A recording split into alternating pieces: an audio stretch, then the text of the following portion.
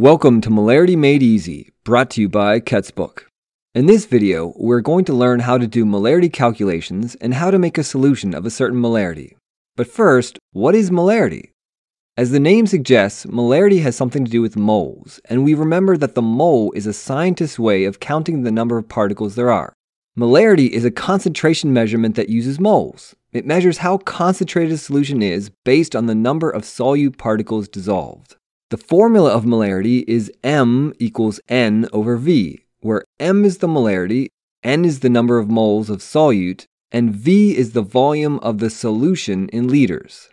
Let's go ahead and try a sample problem. What is the molarity of a 125 milliliter solution containing 0.05 moles of hydrochloric acid?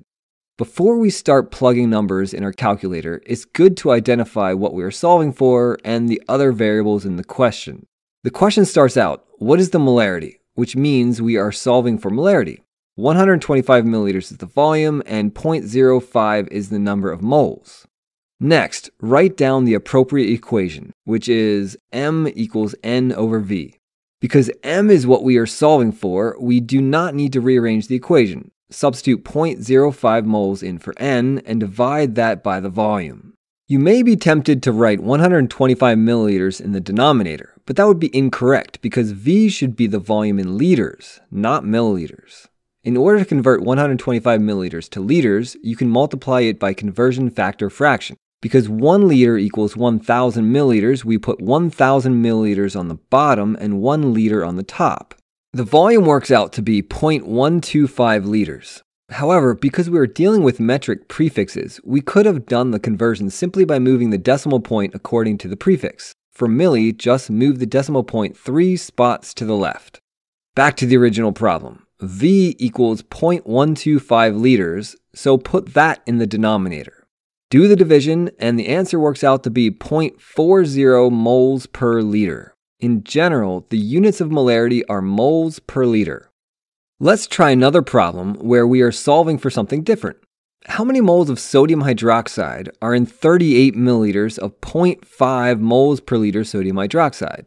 The problem is asking us to calculate moles, and it tells us that the volume is 38 milliliters. However, for molarity, we will need to convert that to liters, which we can do simply by moving the decimal point three places to the left.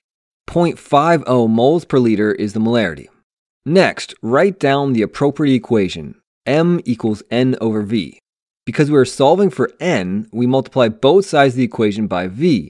On the right side, v over v cancels out, leaving n all by itself. We can rewrite the equation as n equals m times v. Plug in the values for m and v, remembering that v has to be in liters. 0.5 moles per liter times 0.038 liters equals 0.019. As for the units, liters on the top and bottom cancel, and the answer has the units of moles. Let's try another one. How much 2.5 mole per liter sulfuric acid should you use if you need 0.12 moles of sulfuric acid? This problem simply asks us how much sulfuric acid, which is a little vague, but think about what you would do in a lab. How would you measure out a solution of sulfuric acid? By its volume, of course, so the problem is asking us to solve for volume. 2.5 moles per liter is the molarity, and 0.12 moles is N. Next, write down the appropriate equation. We use N equals M times V because it is closer to the form of the equation we need. In order to get V all by itself, divide both sides of the equation by M. On the right side, M over M cancels out, leaving V all by itself. We can rewrite the equation as V equals N over M. Finally, plug in the values for N and M. 0.12 moles divided by 2.5 moles per liter equals 0.048. As for the units, moles in the top and bottom cancel, leaving us with liters as the units. Because the number is less than 1, we convert it into milliliters by moving the decimal point three places to the right, giving us the final answer of 48 milliliters. Now for our final problem. Let's talk about how you would actually make a solution of a given molarity. How would you make 100 milliliters of a 0.4 molar solution of copper 2 sulfate? In this question, we notice something different 0.40 m. That italicized M not only stands for molarity, but it also stands for the units of molarity, moles per liter, and is pronounced molar. So a 0.4 molar solution is the same as 0.4 moles per liter. The volume of the solution that we need to make is 100 milliliters, which is the same as 0.1 liters. This problem is more complex than the previous ones, but let's go ahead and solve it like the previous problems first. If we know V and M, then we can calculate N. M equals N over V rearranges to N equals MV. Substituting in for M and V gives us 0.4 moles per liter times 0.1 liters. Liters on the top and bottom cancel, and the answer is 0.04 moles. But if we're going to make this in the lab, we need to know how much copper 2 sulfate to weigh out. So we are going to convert the moles into grams. In order to do that, we need the molar mass, which is our conversion factor.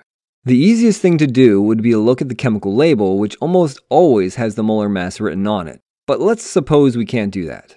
The Roman numeral 2 means that the copper has a plus 2 charge, and sulfate is SO4 2 minus. Because the charges are the same, the compound is simply CuSO4. However, copper 2 sulfate is almost always found as the pentahydrate, which means it has five water molecules that have co crystallized with the copper 2 sulfate. These water molecules aren't really doing anything, they're basically just hitchhiking with the copper 2 sulfate. However, these water molecules do affect the molar mass, which we'll go ahead and calculate now. The formula contains one copper with a molar mass of 63.55 grams per mole 1 sulfur, which is 32.07 grams per mole, 9 oxygens, so we multiply 9 times 16, which equals 144 grams per mole, and 10 hydrogens, so we multiply 10 times 1.008 to get 10.08 grams per mole. Add all these together to get the molar mass of 249.7 grams per mole. This is our conversion factor between moles and grams. In order to calculate the mass of copper 2 sulfate needed, we multiply 0.04 moles by a conversion factor fraction. Because we are starting with moles, one mole goes on the bottom. Because we are solving for grams, 249.7 grams goes on the top. Moles on the top and bottom cancel out. Because the 1 is on the bottom, multiply 0.04 times 249.7 to get 9.988 grams. So how do you actually make the solution? First, get a 100 milliliter volumetric flask with a stopper. It should look something like this.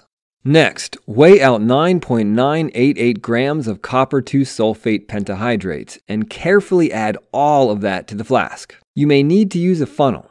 Then, add distilled water to the flask until the water reaches the fill line. Put the stopper on the flask and with your thumb on the stopper, gently hold the flask upside down, then right side up. Repeat this a few times. Copper 2 sulfate tends to dissolve slowly unless you have a fine powder, so you may want to just set it down and let it dissolve on its own. Eventually, it will form a nice blue solution. Thanks for watching. If this video helped you out at all, please give me a thumbs up. Feel free to also share any comments or questions you have below, subscribe to my channel, or check me out at ketzbook.com.